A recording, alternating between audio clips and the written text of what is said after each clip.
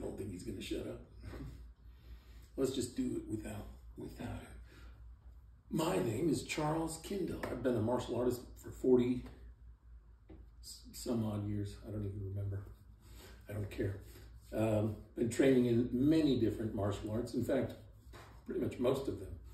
And I've created and reassembled what I believe is more traditional Shaolin technique uh, and aspects rather than the modern version, which has a lot of uh, adaptations, Greek elements that are not necessarily true or um, valid once you get past the basics of martial training.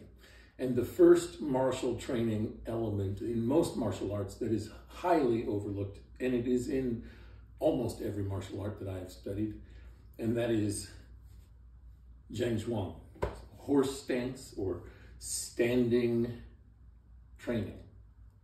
Just training the stance. And most people of martial wisdom already know, no, no, no, this is the most important thing you can ever learn. After 10, 20 years of, of training, some people get welcomed into the closed door system of martial arts, which is uh, usually the um, the first thing a real teacher would do to you is is test out your uh, your internal structure. Who are you as a person? Uh, I'm not going to show you things I know if I don't trust you, if I don't have uh, faith that you will promote values of uh, peace. And so it cannot teach you some of these closed door secrets. And so you want to practice stillness as much as possible if you're going to get any any prayer of taking me out in a fight. and my methodology is I teach you to fight me. I don't teach you to fight Bruce Lee because you know, fighting somebody's Jeet Kune Do or Bruce Lee's interpretation of it when he was 30 doesn't really matter because what would he be talking about today? He'd be part of the closed door system there, and there is a unique group of people who practice behind the closed door. They're all very nice, friendly people. But most of them have stood still for a lot longer than I've been talking. And when you put your hands on somebody like that, you can feel it. You know, Americans, they feel chi for the first time and they're like, what the heck was that? Oh, real internal power. Hmm, never felt that before? Yeah, I've been practicing for, uh, I don't know, seven years. Uh, I don't know anything about martial arts, but that's internal power. Now, me, I come at the internal arts at the end of my life. Thank God I can sport, uh, spare you the details. But the most important aspect is standing still. Once you've practiced that in Shaolin for nine months, oh, have you come in, you paid your dues by standing, show me your standing horse, nine months. Come back, do it again tomorrow. Do it again tomorrow. Do it again tomorrow. When am I going to learn how to punch? Ah, Good thing you asked, Dana-san. Today, Miyagi teach how punch. First, turn the kwa all the way to the left until you feel, oh, hard to turn. Mm, like in your ankles, in your knees, in your hands, in your shoulder. Oh. Okay, now, see how far away that is? You want to have it aimed at your opponent elbow at your opponent, hand in a fist. That's curl your fingers, curl your thumb on top of your fingers. Rear hand can be a fist here. If something comes against you and kicks you, that knuckle could break their foot. So if you can point that knuckle at the attack and use it to protect yourself, you can use that to, to counter a technique coming to your head. But on the face, you don't want to tuck your, your thumb because that hurts. So here with gloves on or bare knuckle even, but you don't want to do this. And that's because you cup the air. So if you're going to open your hand, you have to turn it away. So it's the back of your hand to the ear, and then the front hand is in the, the front block here. So it's, it's doing something to the basics, right? We're talking about very, very basics. So the first technique is inward block, jab, inward block, jab. So wham, bam. Now in the form, in the first traditional form,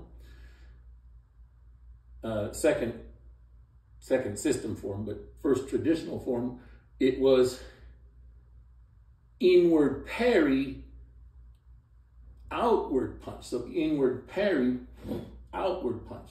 So you're breaking something down and striking it around the corner. In every Okinawa Te block strike, there was a hidden block and strike. In everything, there was something hidden. Everything. Because there was always something hidden behind another door and another door. So you're always blocking and striking. So this one is inward block, inward block, strike, inward block, strike. Or outward block, inward strike. Outward block. So maybe somebody's coming over here with something like a jab, and instead of them hitting you with their left jab, you're gonna do a up, maybe an upward block, whoop, right? And an inward strike to their whoop. So you break down the elbow that's coming here, like Wing Chun, and then that's the first punch that you're taught in Okinawa Te, traditionally. It, well, the first one being the one on the ground, but the second one is this break, and then strike. So you're constantly doing two things at least. At least. So in every part of the form. So it's not just punch and then rising block if you were taught that. Punch. It's it's a combination of maybe you have to punch first and then block. Or maybe that is the block and that's the punch somehow. Like maybe it's like a throw. Whoop. So I, I reach in, I get my posture, and then whoop, I toss the guy. Right? So at that point, it's not a not a basic. So so block strike, block strike, block strike, block strike. That's the hardest one. Is this inverted posture? Right. This one's okay usually. Most people can do this. But this one, not so easy.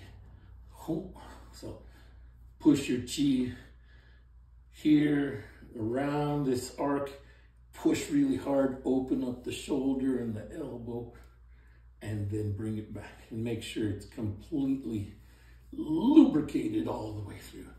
So this is one of the hardest moves that most people, they see in the form and they're like, oh, well, yeah, I, that's hiding all of the jujitsu, right? So, like these are secret throws. Like that's the counter to, to a counter. Never mind.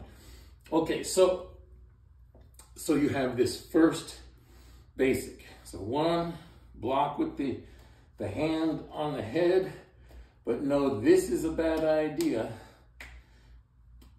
But this is okay. So jab, and then block jab, block jab, block jab, block jab. Now there's six gates roughly, nine gates some people say, but you know, so you you develop them with the standard oval shape, you know, the, the oval shape. See, I snuck it on here. So you're constantly doing the Qigong this way and constantly doing it this way. One. And you want to be cross. Here. You don't want to be open. See, you, you want to close off that center line. So they're like, wait, where's the center? There's no such thing as center line, boy. You didn't learn the right words. Oh, you didn't go past the closed door system. Anyway, I'm Charles. And that's all I got for you today. I gotta go. Hit the jacuzzi.